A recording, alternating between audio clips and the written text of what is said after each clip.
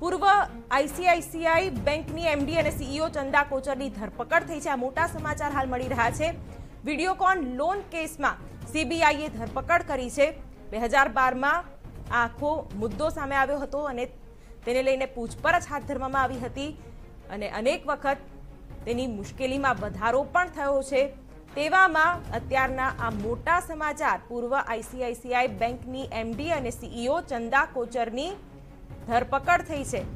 Videocon loan કેસમાં સીબીઆઈએ આ ધરપકડ કરી છે અને બે હજાર બારમાં વિડીયોકોન ગ્રુપને ત્રણ હજાર બસો પચાસ કરોડની લોન આપી હતી.